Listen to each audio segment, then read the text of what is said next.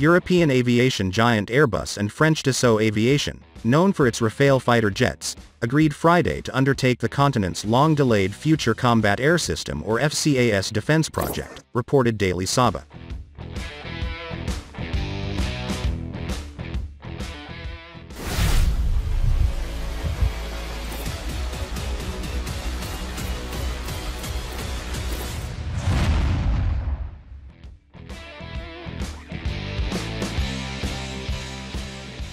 The agreement, first reported by La Tribune, paves the way for political talks to resume among the project's three government backers, France, Germany and Spain, a source close to the matter told Reuters. The governments have received an offer from the companies to build the demonstrator for a new combat plane in the framework of FCAS, the French Armed Forces Ministry said, adding that negotiations were continuing on the overall project.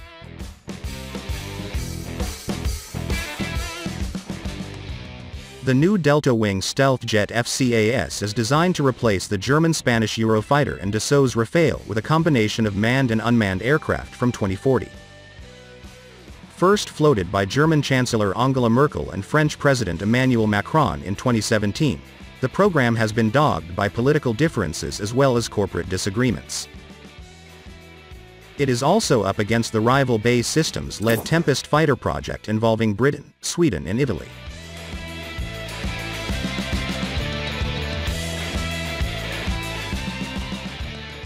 A joint proposal from European defense group Airbus and Dassault still faces outstanding issues including intellectual property matters. Those must be addressed at the political level, Dassault boss Eric Trappier said last month.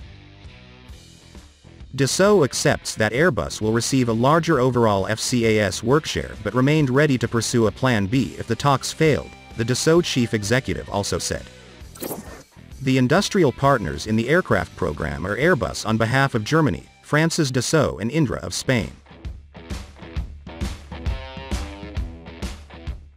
Separate negotiations have been taking place with engine suppliers Safran of France, MTU Aero in Germany and ITP, a Spanish subsidiary of Rolls-Royce.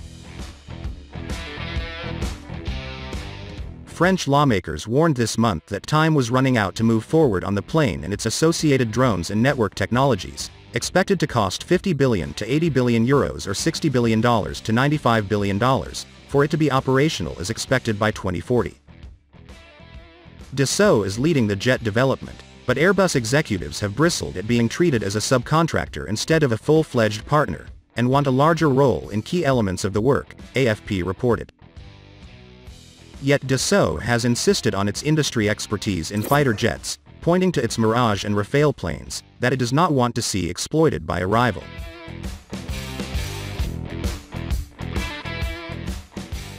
Airbus, for its part, is spearheading the development of the drones in the Combat Cloud ultrafast communications network that will use artificial intelligence capabilities.